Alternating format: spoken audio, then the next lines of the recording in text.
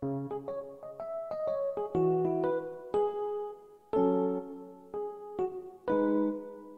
好，欢迎收听故事 FM，我是艾哲，一个收集故事的人。在这里，我们用你的声音讲述你的故事。每周一、三、五，咱们不见不散。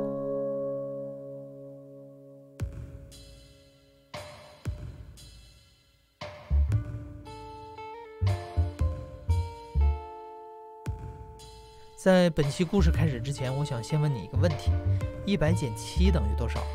不用多想啊，这不是一个脑筋急转弯，只是一道寻常的数学题。今天的讲述者 Kim 告诉我们，去年年底他生了一场怪病，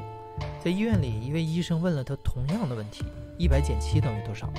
这是 Kim 这辈子听过的最荒谬、最刻骨铭心的一个问题。我们常常在小说和电影中看到类似这样的情节：主人公经历了一场事故，醒来之后突然就失忆了。但是 Kim 的那场病比单纯的失忆还要邪门。我叫 Kim，我今年二十八岁，我现在在一家国企上班，主要做的是进出口方面的业务。我第一次发病呢，是在去年十二月的某一次，我去参加我表妹的婚礼。然后那天晚上呢，我跟我的家人都到了那个酒店，然后我跟我表妹两个人独自在房间就是聊天。但是我记得最后的话题可能是在聊她的婚纱是在哪儿买的，然后他又给我看他淘宝的一个链接，我就拿过来看。后来他就说我好像手机还给他的时候，就可能就扔到地上去了，然后人也倒下去，在地上是一开始说是有类似口吐白沫、抽搐那种状态，就是我自己是完全没有这个意识到。后来他们又说我有一段时间又醒过来，又去上了厕所，我也完全没有任何印象。然后等我完全醒过来，就是躺在医院的那个床上，然后边上可能就是有插着管子什么。就后来医生他们拿了报告出来说，呃，检查情况都都没有发现任何异常。然后我就说我身体也没什么异常，因为我当时也没觉得不舒服，就是感觉像。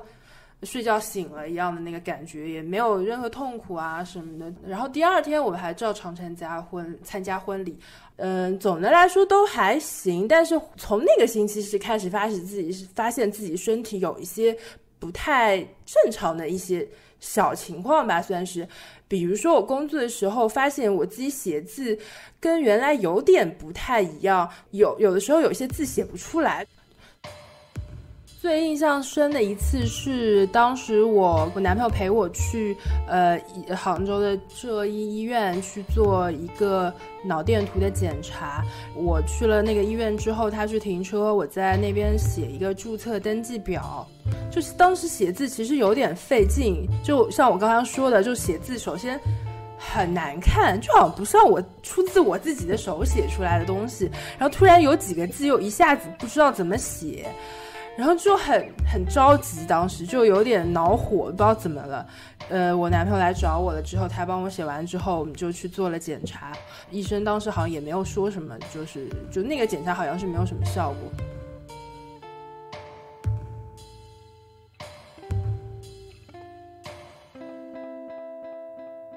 第二次发作大概间隔了五天嘛，那那天晚上凌晨的时候，我突然就手开始抖，然后整个四肢开始抽搐，差不多一一分半的时间在发作，然后呃又间隔三分钟再来了一次发作。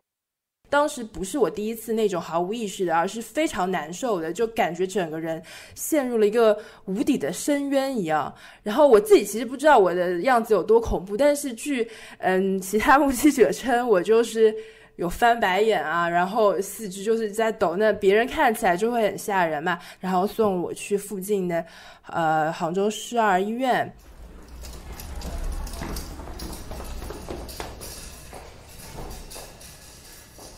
然后在那个医院就正好有一个急诊医生，他是呃神经内科的，那那个医生赶紧给我注射了镇静剂，后来我的这个情况就稳定了一点，但是他也。一下子无法说出我到底是什么样的毛病，接下去就是嗯，在十二医院那段时间做了一系列的检查，然后我们又请了就是神经内科比较好的专家嘛来做会诊，就是在我的病房。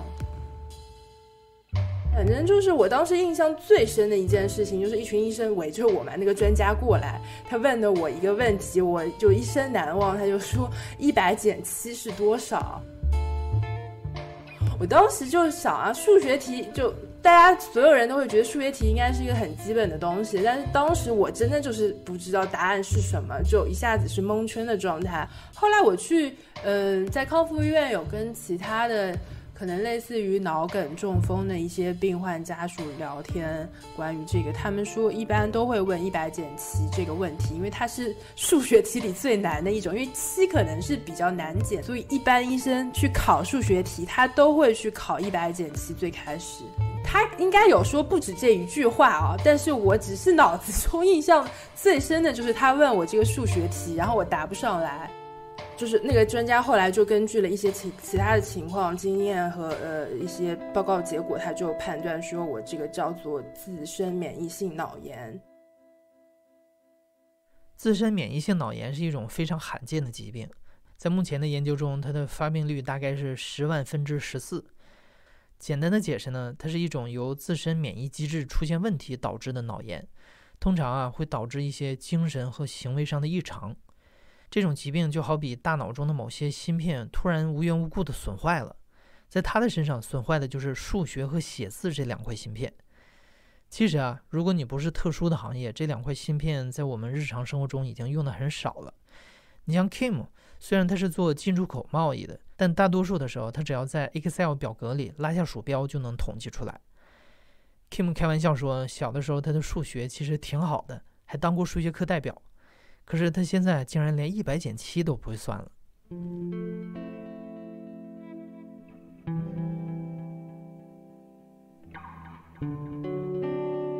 比如说有，我记得有一次我。住院期间，我跟我妈去优优衣库去商店买东西吧，然后她当时会很尴尬的问我，她说，呃，比如说一件衣服是九十九块钱，我给店员了一百元，店员应该找我多少钱？其实是一个很简单的问题，她就一直在问我，然后我一下子回答不出来，很尴尬，而且我觉得边上是有人的，然后当时又觉得自己像个弱智，包括我记得我一开始在医院有段时间挺无聊的，想去打斗地主嘛。当时我想打斗地主，我以为斗地主我应该总会吧。后来我发现好像那段时间也挺懵的，好像也也不太会。就是有一次医生找我签字，我潜意识觉得我应该会签自己的名字，我写不出来，我就画了个圈。就包括我好像系裤带子，当时也不会。然后就是很多平时真的是你觉得非常轻而易举的事情，就一下子不会了。那段时间，我的医生他们经常会来问我一些问题，就是关于一些逻辑方面的。我印象最深的一个问题是他问我猫大还是狗大，我一开始没有回答出来，因为我好像在想也有大猫也有大狗什么之类的，我开始没有回答出来。然后当时那个医生就会觉得你。就是我的逻辑是有一些失常的，那段时间我没有去刻意去恢复这方面的能力，但是我很害怕医生每天的日常的拷问，因为我觉得是一种对我智商上的一种说难听也是侮辱吧，但是你必须得去接受，因为他们也是要去知道你真实的一个情况。然后在浙二医院那段时间。就是先是去解决我身上的一些病痛吧，因为当时一开始我是无法走路的，因为我的肢体经常会有一阵麻，反正一种难受吧，很难用言语去形容，但但很不舒服，然后就无法走路，因为它是一阵一阵发作的，一会儿是手，一会儿是脚，还会有嗯手指甲的一个，就是手指甲剥离的一个疼痛感，还会出现一些幻影。就是我感觉到我边上会有一圈光一直在亮，然后身边好像有个小人 那种感觉。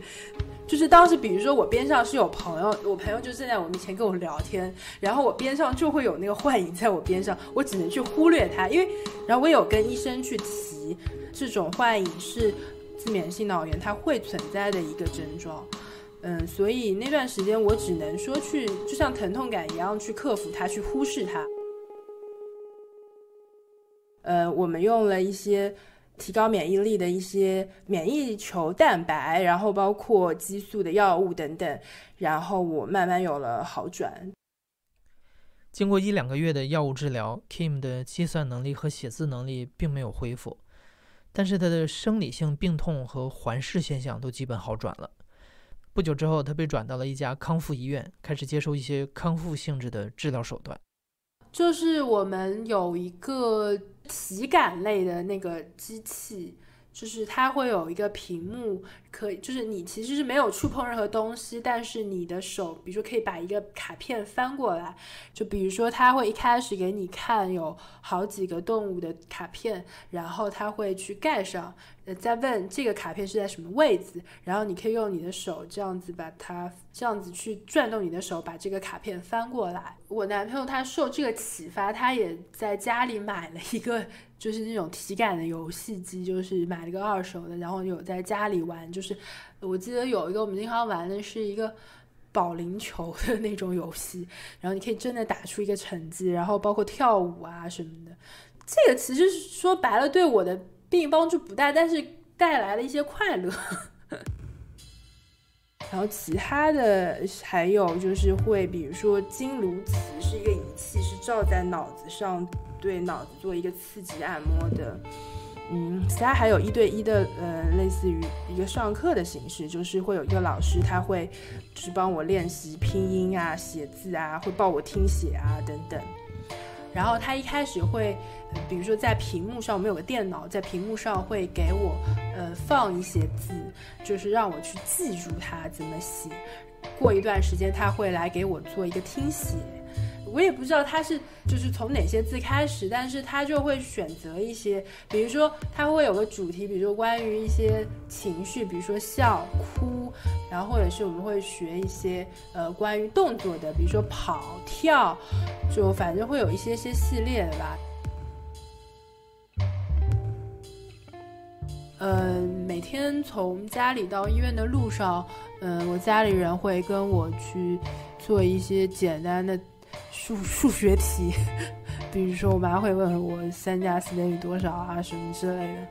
然后总的来说，我的数学是先恢复的，然后写字是应该是最难的吧，但是也是一个。逐渐好转的过程，并且这个速度肯定是跟小学生学习的速度是完全不一样，因为你毕竟有一个基础在。就一开始我真的就是一个零，我自己的名字都不会写，然后数字写的也歪歪扭扭的，就是连小学生可能都不如。但后来就慢慢进步，然后差不多可能也是花了一个半月，就基本上也恢复就是之前的那个水平了。因为治疗及时，Kim 恢复的很快，这种体验很奇妙，就好像大脑中那两块丢失的芯片被找回来了一样。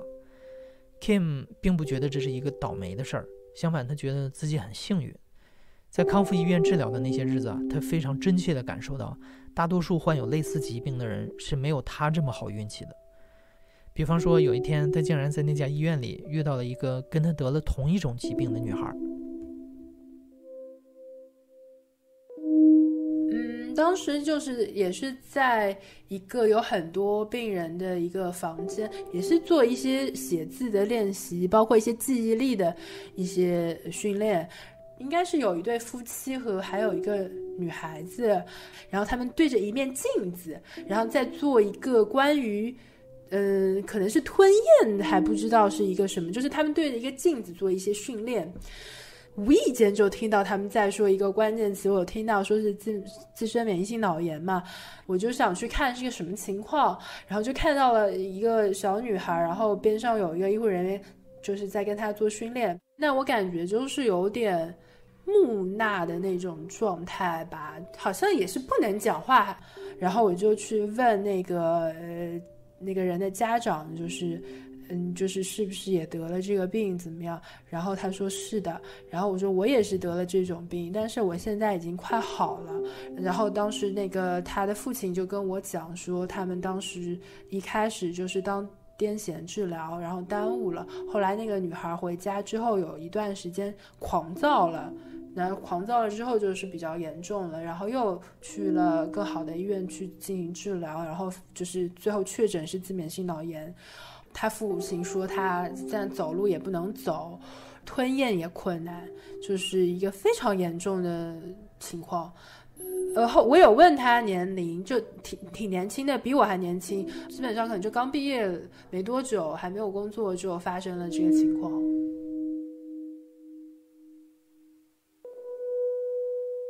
因为我其实，在想，就是其实那个人其实还是在杭州的医院看的。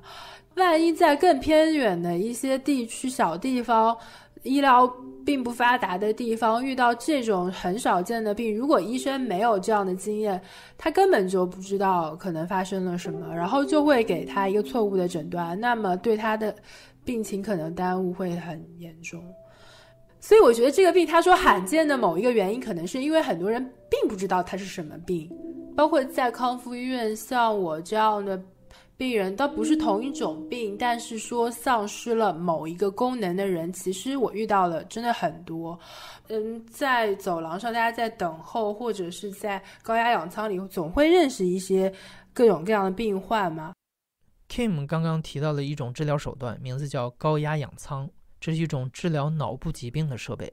简单来说，就是让患者进入一个高压的环境里，通过吸入高浓度的氧气来恢复大脑机能。在康复医院治疗期间，Kim 每周会接受五次的高压氧舱治疗，每次都会和其他陌生的病患在一块儿接受这个治疗。高压氧舱它是一个呃相对来说要呃无菌的一个状态吧，嗯，所有人都要穿他们指定的一个衣服，包括内衣内裤都不能穿。其实有点像坐飞机的或者坐高铁的那个座位上，大概可能有。十个位置，然后高压氧舱的话是一个一百分钟的过程，就是它前二十分钟是一个加氧的一个过程，所以它会像坐飞机一样，耳朵会有一个。肿胀的感觉，所以那个过程，医生建议我们要吃一些小的零食或者水果，让自己有咀嚼，然后会让自己的耳朵保持通畅。然后之后的呃三十分钟，他会戴一个面罩，可以吸氧的一个过程。因为是密闭的，并且不能玩手机，也不能看书，所以大家其实在里面是一个非常无聊的过程。然后你会发现每个人的性格就会反映在这。一百分钟以内，因为有的人他就特别喜欢聊天，有的人就会一直沉默，然后从来不讲话。我边上有一个呃重庆的小哥吧，他们是兄弟俩一起从重庆来杭州卖面条的。然后他哥哥是因为有一天晚上凌晨，就是在一片就没有路灯的路面上，呃自己一个人骑电动车，正好那个漆黑的路面上有一。道，呃，应该算是路灯吧，倒在地上了，横在地上，他整个人飞出去了。然后当时他应该是整个脑子就是血都溢出来了，但是他非常淡定，他走回家里。之后他就说，因为他当时自己走回家的这个过程耽误了治疗嘛，基本上算有点像植物人，就是在虽然他无法真的跟你说话，但是他也会朝你笑一笑啊，或者怎么样，就你能感受到他其实也知道你的存在，然后会再跟你互动。嗯，还有一个爷爷，他也是非常健谈的，他就特别喜欢，呃，给我们报时，就是我们的舱内会有个小窗，可以看到外面的表，所以我们那边会有一些人，他固定的会给大家报时，说还有多少分钟，嗯，就就可以休息了，比如还有多少分钟就可以摘下面罩啦，他就每天固定坐那个位置，然后他说他是一个。算是建筑师吧。然后他特别喜欢说他曾经工作的一些光辉的事迹之类的。然后他说他原来身体也非常好，有一天就突然就中风了，然后就半瘫了，并且他告诉我们，他每天都非常积极的在做康复。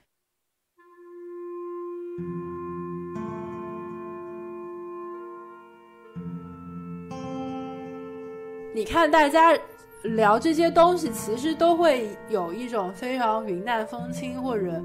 轻描淡写的一种感觉。其实他们遭遇了，我觉得是非常大的苦难吧，就是遭遇了非常大的不幸。但是每个人去描述身边的人或描述自己的病情，都会尽量轻描淡写，觉得好像没什么事情。就所以当时觉得也没有什么，因为当时那边有很多跟你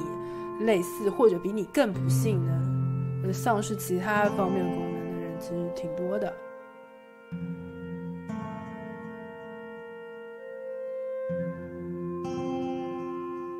二零一九年的二月底，Kim 从康复医院出院，在家接受药物治疗。他的计算能力和写字能力都已经完全康复了，神经功能的各项检查也都完全正常。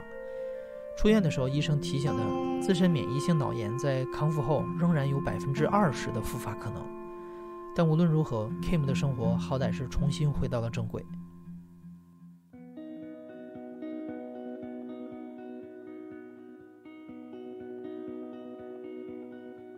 我刚出院的下一周，我就回去上班了，就是这么一个过程，就无缝衔接了，基本上，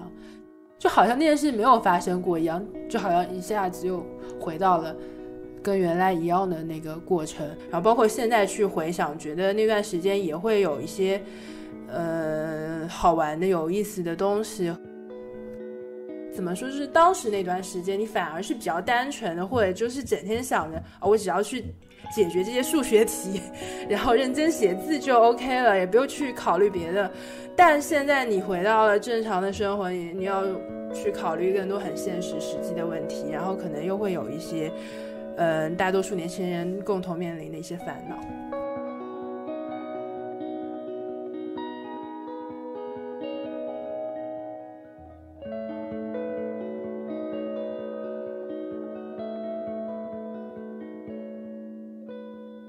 你现在正在收听的是亲历者自述的声音节目《故事 FM》，我是主播艾哲。本期节目由梁科制作，声音设计杨帆。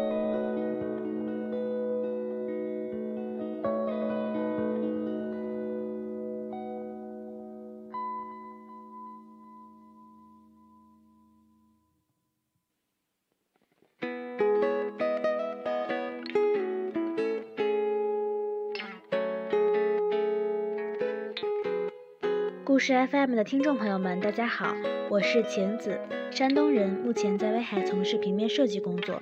嗯，我最喜欢的那个节目是一百零三期，唐拉拉讲述圆明园画家村的故事，还有一个是一百七十五期的那个特别感人的北京大妞，讲述她和她父亲之间的故事。嗯，就是那个我的哥们儿，我的情人，我的爸爸。最后呢，希望故事 FM 越办越好。希望大家多多支持，多多转发哦。